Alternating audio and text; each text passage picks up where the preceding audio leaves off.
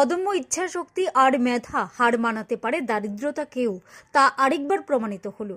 জাতীয় স্তরে নেট পরীক্ষায় ভালো ফলাফল করে চিকিৎসক হওয়ার স্বপ্ন দেখছে ইমরান হোসেন রাজেল। বাবা ফকর উদ্দিন পেশা একজন রাজমিস্ত্রি। সংসারে মা বাবা ও ছোট একটি ভাই রয়েছে তার। রাজেল চলতি শিক্ষাবর্ষে সতেরো জুলাই নেট পরীক্ষায় অংশ নেয়। চলতি মাসের সাত তারিখ নেটে ভালো ফলাফল করে রাজেল। সাতশোর মধ্যে তার প্রাপ্ত নম্বর পাঁচশো ত্রিশ। তার এই ফলাফলে খুশি পরিবার সহ গোটা গ্রামের মানুষ।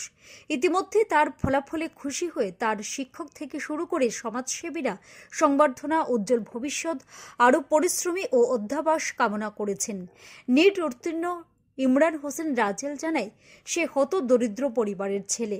বাবা অন্যের বাড়িতে রাজমিস্ত্রির কাজ করে যা উপার্জন করেন, তা দিয়ে চারজনের সংসার কোনোভাবে চলে। বাবার স্বপ্ন ছিল বড় হয়ে সে চিকিৎসক হবে। ফার্স্ট করেছে নিটে আমার অনেক ইচ্ছা যে একটা ভালো ড্রেস আমার বাচ্চার জন্য কিনে দেব। এই টাকাটা পর্যন্ত আমি সংযোজন করতে পারতেছি না।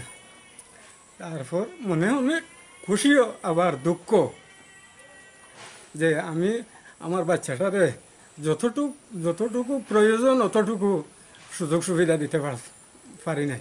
এখন তো আমার বাচ্চাটা এম এমবিবিএসে পড়াশোনা করবে। এবং ভালো ডাক- ডাক্তার। হোক এটা আমি চাই। যত শরীরে মানুষ আছেন বা অফিসার টফিসার যারা আছেন, এরা যদি সবাই মিলে আমাকে একটু সাহায্য করেন, তাহলে আমার বাচ্চাটা এমবিবিএসে পড়াশোনা করতে পারবে নয়- নয়তো আমাদের এই স্বপ্নটাও মানে বেকার যাবে। প্রত্যন্ত গ্রামীণ এলাকায় বেড়ে ওঠা রাজেল প্রথম থেকে দশম শ্রেণি পর্যন্ত উত্তর ফুলবাড়ি উচ্চতর মাধ্যমিক বিদ্যালয়ে বেশ ভালো ফলাফল করে আসছে। তারপর আর্থিক দুরবস্থার কারণে অসমের হোজায় জেলার আজমল ফাউন্ডেশনে সম্পূর্ণ বিনামূল্যে ইংরেজি মাধ্যমে ভালো ফলাফলের সহিত একাদশ ও দ্বাদশ শ্রেণি পাশ করে।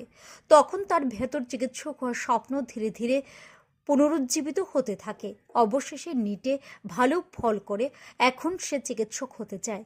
কিন্তু চিকিৎসক হতে গেলে পড়াশোনা বাবদ যে টাকা প্রয়োজন, তা তার পরিবারের জন্য দুষ্কর হয়ে দাঁড়িয়েছে। নিটের রেজাল্ট হওয়ার পর আমার স্কোর মোটামুটি ভালো আসে এবং ইনশাল্লাহ আমার ইচ্ছা আমি বিএসএ পড়াশোনা করব। আর বর্তমানে রাজ্য সরকার শিক্ষার দিকে দৃষ্টি আকর্ষণ করেছেন তাই আমার আবেদন রইল মানে আমাকে সাহায্য করার জন্য। হত দরিদ্র রাজেল ও তার পরিবার কামনা করছেন রাজ্য সরকার ও শিক্ষামন্ত্রীর সহযোগিতা। রাজেলের বাড়ি উত্তর জেলার কদমতলার উত্তর ফুলবাড়ি গ্রাম পঞ্চায়েতের শান্তিপাড়ায়। সমাজে সকল অংশের মানুষ এবং সরকারের সহযোগিতা পেলে হয়তো সত্যি এগিয়ে যাবে রাজেল ব্যুরো রিপোর্ট, রাইজিস্ট নিউজ।